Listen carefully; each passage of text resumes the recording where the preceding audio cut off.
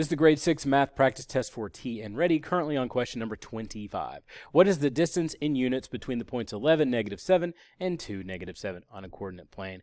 Um, I'll apologize ahead of time for how bad this looks. I just wanted to have something up beforehand. My only thought about it is, oh, come on, I'm doing like all of the math practice tests. It's tiring, and I've been, it, it takes weeks to do, so sometimes my drawings are going to be sloppy. Just accept it. So if you have trouble putting the why would I put them on the coordinate plane? I mean, obviously the y's are negative seven and the x's are what I have to focus on, right? Uh, if you're thinking that, it's because some people don't see that automatically, and I just want to have something for everybody. If you have trouble plotting points, uh, often because you learn slope and your y being first gets in your head and like locks in your brain, I get it. X, Y, X, Y. So when you're doing coordinate points, just put the letters in alphabetical order. So this one's on the x-axis. I need to go out to 11. 1, 2, 3, 4, 5, 6, 7, 8, 9, 10.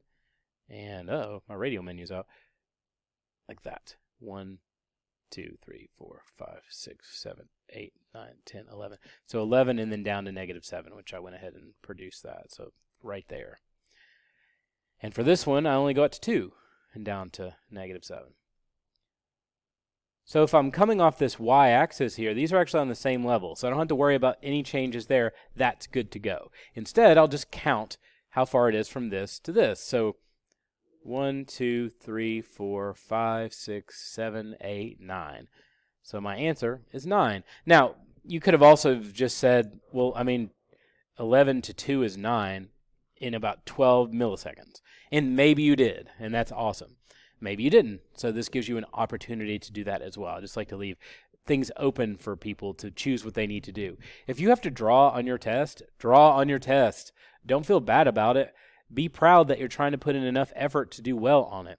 The only thing that people really fail at uh, in terms of like preparing for this thing is they get so embarrassed that somebody will say something about their test that they won't do the things they need to do to get the correct answers to somehow prove that they're smart or something. I don't know. It's weird, but and, and I get it totally. It's embarrassing to, have to draw the thing, but if you have to draw it, don't feel bad about it. If somebody says anything to do, just turn around and tell them mind their own business. You're trying to do as well as you can on this, and if you hear somebody else say that to a third person, talk to the first person who said something and tell them to leave them alone.